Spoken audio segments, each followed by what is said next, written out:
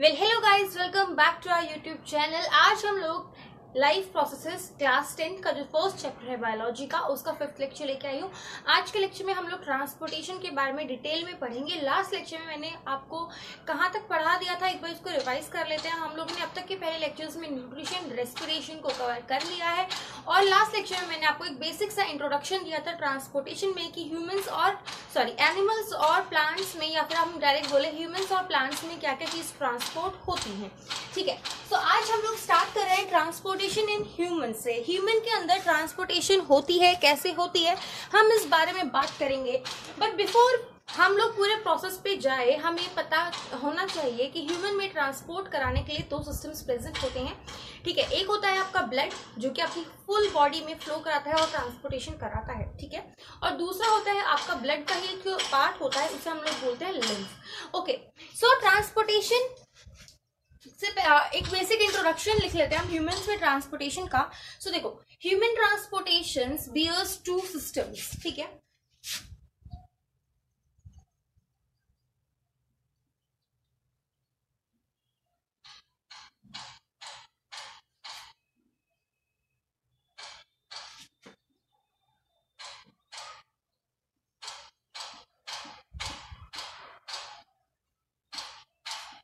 Okay दो systems होते हैं कौन से होते हैं? जस्ट मैंने अभी आप लोगों को बताया। So the very first is your blood and दूसरा होता है आपका क्या होता है? लिम्फ लिम्फ होता है उसे, ठीक है? हम उसे बोलते हैं लिम्फ ओके okay? ब्लड और लिम्फ जो है वो आपस में इंटरकनेक्ट होते हैं ठीक है? जैसे जैसे लेक्चर आगे बढ़ता जाएगा आप लोगों को पता चल जाएगा।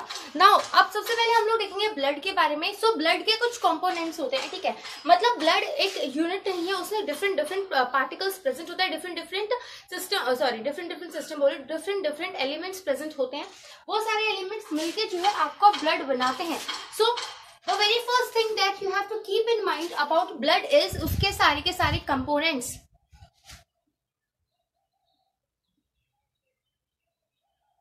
Components of what blood ठीक है? आपको ये सारी चीज़ें अभी मैं आपको चार नाम बताऊँगी। आप लोग क्लास नाइन्थ में भी ये पढ़ के आ चुके हो ठीक है?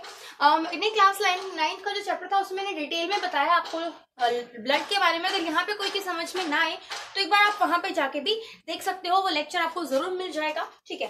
सो so, पहला कंपोनेंट जो ब्लड का है एक मिनट मार्कर का कलर चेंज कर लेते हैं। So the very first component is your plasma ठीक है?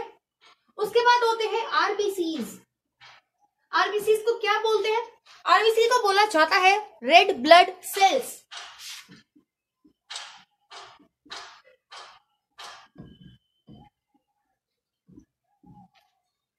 उसके बाद next component is your WBC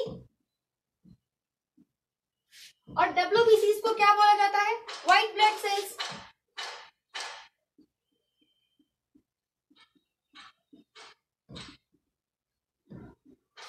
okay ये तीन चीज़ों के बाद एक इंपॉर्टेंट बच जाता है आपका क्या ब्लड का कंपोनेंट जिसे हम लोग बोलते हैं प्लेटलेट्स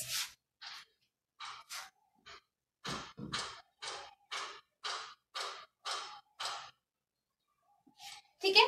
आई होप आपको यहाँ तक सारी की सारी चीज़ें समझ में आ गई हैं. ब्लड्स के टोटल कितने कंपोनेंट्स होते हैं? ब्लड्स के टोटल होते हैं चार component plasma the very first उसके बाद next is your W RBCs W BCs and your platelets ठीक है?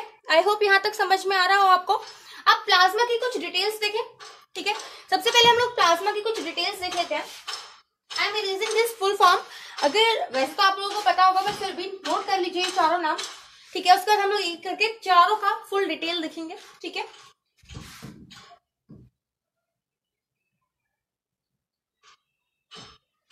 तो देखिए, प्लाज्मा की थ्योरी में अगर आपसे पूछा जाए डिफाइन प्लाज्मा या फिर प्लाज्मा के बारे में कुछ इंपॉर्टेंट चीज़ें बताइए तो आपको कुल चार चीज़ें याद रखनी है, ठीक है? बहुत इजी है, चारों के चारों पॉइंट्स बिल्कुल समराइज में बताने वाली हूँ आप लोगों को। So the very first point is उसका कलर प्लाज्मा जो है वो स्ट्रॉ कलर होता है। स्ट्रॉ कलर्ड फ्लूड होता है आपका प्लाज्मा। इस बात को आपको ध्यान में रखना है। उसके बाद नेक्स्ट चीज़ आएगी आपकी आ, मतलब उसमें क्या कंपोनेंट्स प्रेजेंट होते हैं। सो so, प्लाज्मा में अप्रॉक्स 90 से 92 परसेंट वाटर प्रेजेंट होता है। ये चीज़ आपको ध्यान में रखनी है ठीक है? जैसे ब्लड का एक कंपोनेंट प्लाज्मा है वैसे ही प्लाज्मा का एक कंपोनेंट वाटर है जो कि approx approx 90 to 92 percent present होता है ठीक है? उसके बाद प्लाज्मा में एक और चीज़ प्रेजेंट होती है अब 90 से 92 परसेंट हमने अप्रॉक्स मान लिया कि उसमें वाटर है बट उसके अलावा भी तो उसके कुछ कंपोनेंट्स होंगे। तो उसका दूसरा कंपोनेंट है आपका प्रोटीन जो कि 6 टू 8 परसेंट है। ठीक है, वो इंपॉर्टेंट है। अब ये मत सोचना कि सिर्फ़ 6 से 8 परसेंट है तो क्या हो गया? ठीक है, ऐसा मत सोचना बिकॉज़ आपको पता है ऑक्सीजन तो सिर्फ़ ट्वेंटी वन परसेंट है बट वो बहुत इंपॉर्टेंट है, उससे ऐसे ही प्रोटीन भी बहुत ज़्यादा इंपॉर्टेंट होते हैं। उसके बाद जो नेक्स्ट चीज़ जो होती है, उसके मतलब सिक्स टू एट तो अप्रॉक्स हम लोगों ने नाइन्टी एट परसेंट का आइडिया लगा लिया है कि उसके में प्लाज्मा में वाटर और प्रोटीन होता है। उसके अलावा उसमें बच जाते हैं कुछ और मिनरल्स ठीक है? सो so, ये था आपका प्लाज्मा की डिटेल जो आपको याद होनी चाहिए। सो so, अब मैं एक ही करके सारे के सारे पॉइंट्स यहाँ लिखने वाले हूँ। आप लोग इस हैंड टू हैंड ये सारे के सारे पॉइंट्स जो हैं अपने नोटबुक्स में लिख लीजिएगा। So the very first point is about its colour ठीक है? सो कलर प्लाज्मा का कैसा होता है? जस्ट मैंने अभी बताया आपको स्ट्रॉ कलर होता है।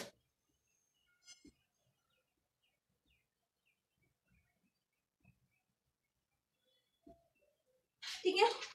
नेक्स्ट पॉइंट जो आपको ध्यान रखना है प्लाज्मा के बारे में, वो है it have 90 to 92 percent water okay उसके बाद नेक्स्ट चीज़ क्या होगी? Proteins it have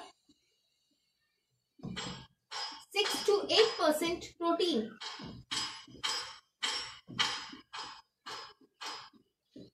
और लास्ट चीज़ क्या है? मैंने जस्ट अभी बताया, बाकी के बचे दो परसेंट में क्या चीज़ आते हैं? मिनरल्स और कुछ और सब्सटेंस ठीक है? And some minerals and other substances.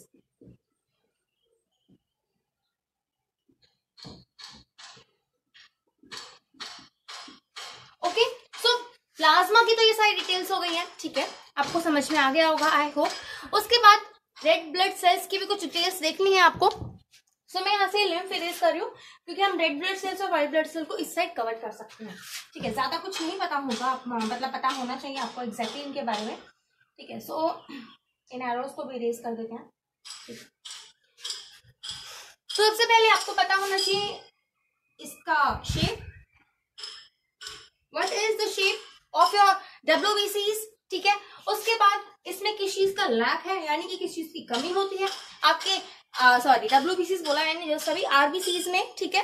और इसमें कौन सी चीज़ रिच होती है? तो ये तीनों चीज़ें आपको पता होनी चाहिए आरबीसी के बारे में। तो सबसे पहली चीज़ आपको पता होनी चाहिए कि आरबीसी जो है वो बाई कन्वेक्स शेप का होता है। बाई कन्वेक्स शेप से क्या मतलब है? कुछ ऐसा स्ट्रक्चर मतलब आप जो है किसी भी साइड से देखिए it is going to show some you know cleavage होगी यहाँ पे, ठीक है? आई होप आपको समझ में आ रहा है। ठीक है तो सबसे पहली चीज़ क्या होनी चाहिए कि इसका शेप कैसी होती है? बाई कॉन्वेक्स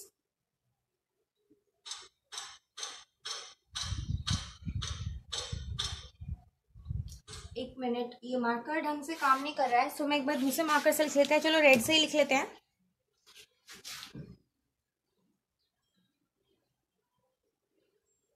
जो होता है यानी रेड ब्लड सेल्स होते हैं, जब वो बड़े हो जाते हैं, बच्चे नहीं, जब वो बड़े होते हैं प्रॉपरली मेच्योर हो जाते हैं तो उनमें न्यूक्लियस एबसेंट हो जाता है। दे लैक न्यूक्लियस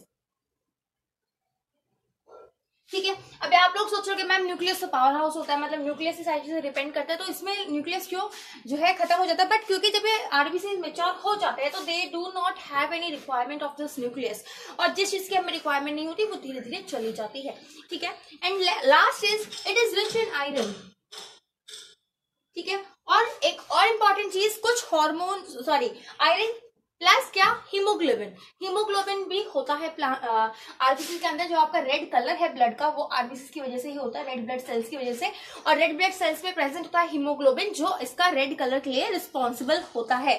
ठीक है? So next important point hashtag करके लिखेगा it have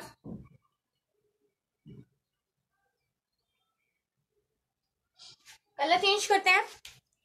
It have what haemoglobin globin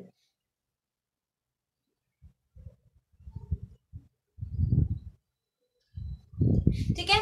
अब इस हीमोग्लोबिन का क्या रोल होता है? ये मुझे बता आप लोगों को बताना होगा, ठीक है? जिस चीज़ को पता है, वो फटाफट से कमेंट सेक्शन में कमेंट कीजिए। और जिसको नहीं पता, वो बताती हूँ ऑक्सीजन ट्रांसपोर्ट में हेल्प करता है। ओके आपको प्लाज्मा और आरबीसी के जो हैं फ़ंक्शंस पता चल गए होंगे। Now we are going to talk about W so पूरा बोर्ड साफ़ करना होगा, क्योंकि डब्ल्यू की कुछ आपको टाइप पढ़ानी है मुझे, ठीक है? फटाफट से नोट कर लीजिए।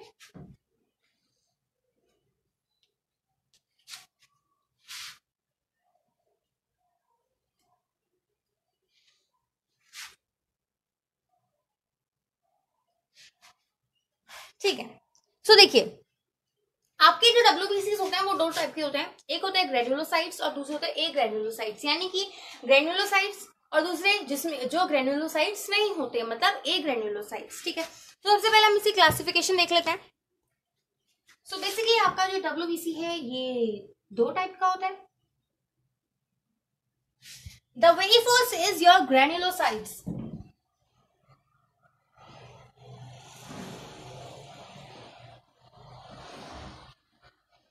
and the next is your agranulocytes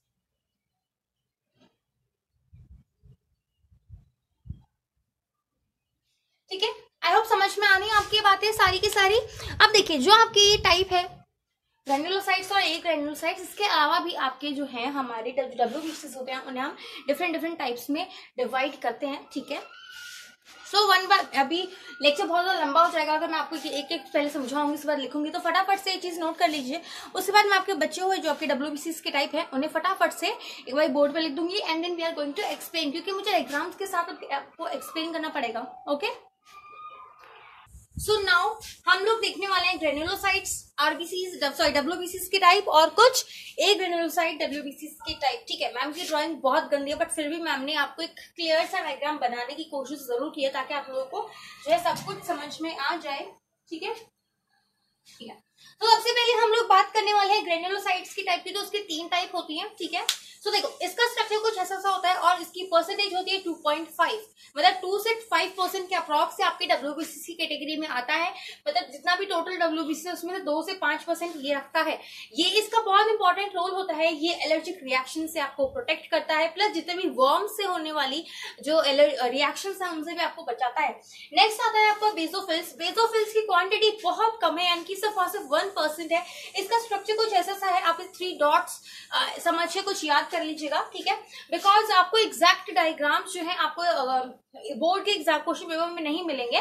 ठीक है, आपको एनसीआरटी में जो डायग्राम्स प्रेजेंट होते हैं, उनका भी ब्लैक प्रिंट मिलने वाला है so it is very difficult तो आप लोग समझ लेना कि जहाँ पे आपको तीन स्पॉट्स दिख रहे हैं, वहाँ पे बात हो रही है बेजोफिल्स की।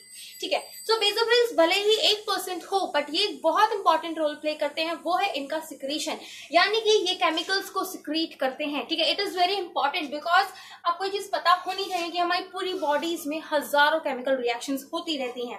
ठीक है, उसके बाद नेक्स्ट आता है न्यूट्रो न्यूट्रोफिल्स न्यूट्रोफिल्स सबसे ज़्यादा अमाउंट में प्रेजेंट होते हैं यानी कि 70 परसेंट प्रेजेंट होते हैं। ठीक है आप इसका स्ट्रक्चर कुछ हेडफोन टाइप समझ सकते हो।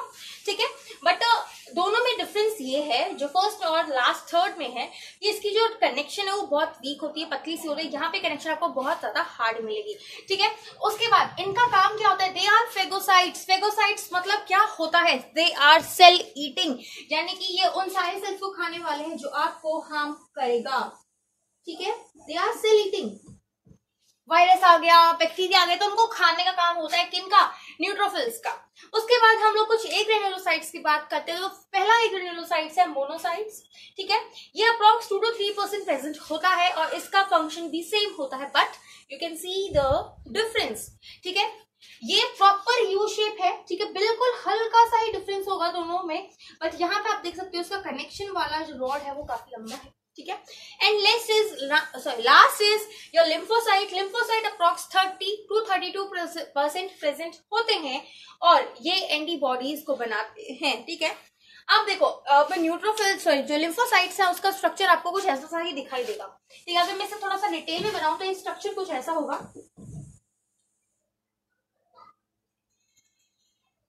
ठीक है? बट द फैक्ट इज़ इतना डिटेल में बनाने का कोई फ़ायदा नहीं है बिकॉज़ आप लोगों को ये पूरा का ये पूरा एक ब्लैक स्पॉट ही दिखने वाला है आपके क्वेश्चन पेपर्स में। ठीक है? आई होप आपको ये सारी चीज़ें समझ में आ गई हैं। ठीक है, फटाफट से नोट कर लीजिए ये सारी चीज़ें, उसके बाद हम लोग प्लेटलेट्स के बारे में बात करेंगे ओके? सो so नाउ हम लोग देखने वाले हैं प्लेटलेट्स के बारे में ठीक है? तो प्लेटलेट्स में आपको सिर्फ़ और सिर्फ़ दो पॉइंट्स याद रखने हैं। सबसे पहला, इसके ये कैसा होता है? ये सेल फ्रेगमेंट्स में प्रेजेंट होता है। और दूसरा it is going to help in blood clotting मतलब जब भी चोट लग जाती है, पहले स्टार्टिंग में जो खून बहता है, उसके बाद जो है खून बहना बंद हो जाता है। So it is due to this platelets क्योंकि प्लेटलेट्स जो है ब्लड के फ्लो को रोक देती हैं और वहाँ पे क्लॉटिंग हो जाती है, ठीक है? सो सिर्फ़ दो ही पॉइंट याद रखने हैं। सबसे पहला है आपका cell fragments and the next important is blood clotting या फिर क्लॉटिंग ऑफ़ ब्लड लिखते हैं, ठीक है? क्लॉटिंग ऑफ़ ब्लड ठीक है? तो इसी के साथ आपके जो है सारे के सारे ब्लड के कंपोनेंट्स हो चुके हैं। सब अब आपको ना, आपकी स्क्रीन पे साइड में कुछ नाम लिख, दिख रहे होंगे। सबसे पहला है एरिथ्रोसाइट्स लीकोसाइट्स एंड थ्रोम्बोसाइट्स तो ये नाम क्या है? अगर किसी ने पहले सुन रखा है तो प्लीज़ कमेंट सेक्शन में ज़रूर बताना कि आपको पता था कि ये नाम किसके दूसरे नाम है, ठीक है? सो साइंटिफिकली हम लोग डब्ल्यू सॉरी आरबीसी को क्या बोलते हैं? एरिथ्रोसाइट इनका प्रॉपर नाम है। किसका है? आरबीसी का।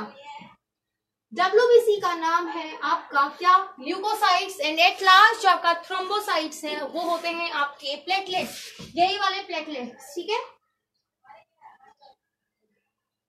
तो इस चीज़ को ध्यान रखना, अगर एग्ज़ाम में चाहे एथ्रोसाइड लिखा हो या फिर आरबीसी लिखा हो आपका मतलब एक ही है। क्वेश्चन में सिर्फ़ और सिर्फ़ आरबीसी के बारे में पूछा गया है।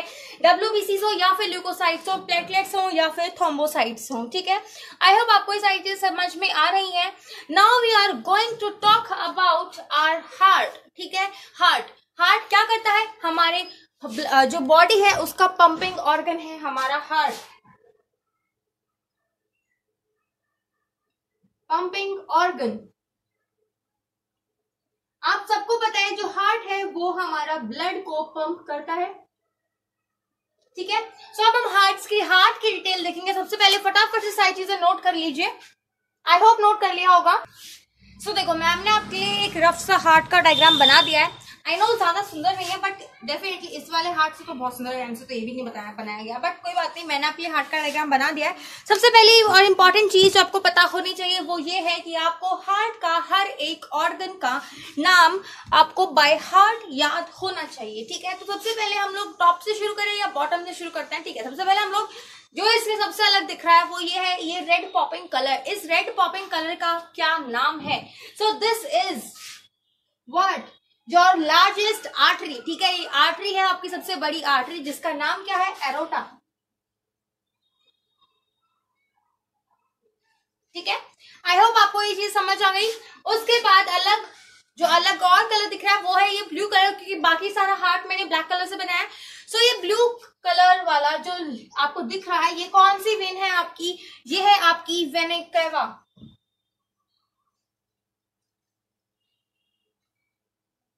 अब मैंने सिर्फ़ इन दो ही आर्टरी और वेन को नाम दिया है यहाँ पे और मैंने सिर्फ़ यही दो आर्टरी और वेन बनाई है। इसका मतलब ये हमारी लार्जेस्ट आर्टरी है और ये हमारी लार्जेस्ट वेन है। ठीक है हमारे हार्ट में इनका बहुत इंपॉर्टेंट रोल प्ले होता, होता है इसलिए आपको ये चीज़ें ध्यान रखनी है। Largest artery is your aorta and largest vein is your vena cava ठीक है उसके बाद आपको यहाँ पे कुछ चैम्बर्स के नाम चैम्बर्स दिख रहे होंगे मतलब कुछ आधे अधूरे से बॉक्स आई होप दिख रहे हैं। मैंने इनको लेबल किया है। सो so, सबसे पहले हम लोग नंबर वन के बारे में बात करते हैं। So this is your right atrium क्या है राइट आर्ट्रियम ठीक है?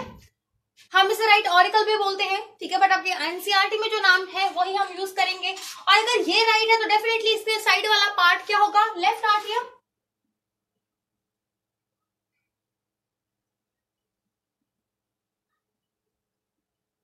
ओके सो हमने नंबर वन और नंबर थ्री को लेबल कर दिया है। सो अब नंबर टू और नंबर फोर की बारी है। So number four is your right ventricle देखो, जो चीज़ राइट में प्रेजेंट है, चारों चेंबर्स में ना, ऊपर वाले चेंबर्स को हम हमेशा एट्रियम बोलते हैं और नीचे वाले को वेंट्रिकल बोलते हैं, ठीक है?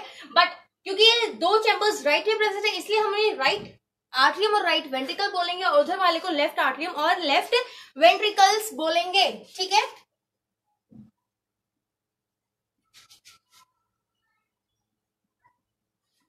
आई होप आपको चीज़ें समझ में आ रही हैं। And this number four is your what left ventricle ठीक है? ये सारी चीज़ें समझ में आ गई। आई होप आपको यहाँ तक सारी चीज़ें समझ में आ गई हैं। और अब मुझे एक बात बताइए, ये जो फ्लैप्स दिख रहे हैं, ये क्या है? What are these flaps actually ये है हमारी वेल्व ठीक है? इनका काम क्या होता है? इसे ऊपर वाले चैम्बर को खोलना और बंद करना ठीक है? इनका काम एक डोर की तरह होता है ठीक है? जब रिक्वायरमेंट होती है तब खोला जाता है और जब रिक्वायरमेंट नहीं होती सो जब दूसरे टाइप की रिक्वायरमेंट होती है तब इसे बंद कर देते हैं। सो इनका क्या नाम है? मैं इन्हें थोड़ा सा अलग कलर से रिप्रेजेंट कर देती हूँ नहीं तो आप लोग कंफ्यूज हो जाओगे। सो so, ये जो ब्लैक ब्लैक मैंने सॉरी ग्रीन बना दी है ठीक है? इन्हें क्या बोलते हैं हम लोग? वेल्व्स कंबाइन करके लिखते हैं। चाहे राइट right साइड की वाल्व हो और चाहे लेफ़्ट लेफ़्ट साइड की हो, हम दोनों को एक ही नाम देते हैं दैट इज़ ठीक है? आई होप आपको यहाँ तक सारी चीज़ समझ में आ गई। अब उसके बाद हार्ट के बारे में कुछ इंपॉर्टेंट चीज़ें देख लेते हैं। सबसे पहली चीज़ जो हार्ट है, इसमें एक भी हड्डी प्रेजेंट नहीं होती। ये पूरा का पूरा मसल से बना होता है। So the very important point that you have to keep in mind कहा लिखे? यहाँ लिखू? ठीक है। Heart is a muscular organ.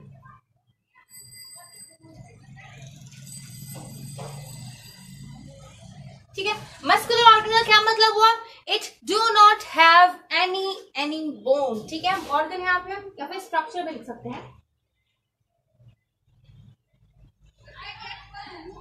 ठीक है? और उसके बाद नेक्स्ट चीज़ जो आपको ध्यान रखना है। ये जो मसल्स हैं, जिसकी वजह से मस्कुलर ऑर्गन बना है, इन मसल्स को हम लोग कार्डियक मसल बोलते हैं। ठीक है? आई होप आप लोग को ये सारी की सारी चीज़ें समझ में आ गई होंगी ओके फटाफट से लिख लीजिए, उसके बाद हम लोग देखने वाले हैं हमारे हार्ट का पूरा प्रॉपर फ़ंक्शन की कैसे ब्लड ट्रांसपोर्ट होता है। ठीक है, फटाफट से नोट कर लो। सो नोट कर लिया ना आप लोगों ने। अब देखो नेक्स्ट क्लास में हम लोग पूरा का पूरा हार्ट का सिस्टम देखेंगे। उसके बाद आपको दिख रहा है यहाँ पे चार चैम्बर्स हैं बट हर एक एनिमल के अंदर चार चैम्बर हार्ट नहीं होता।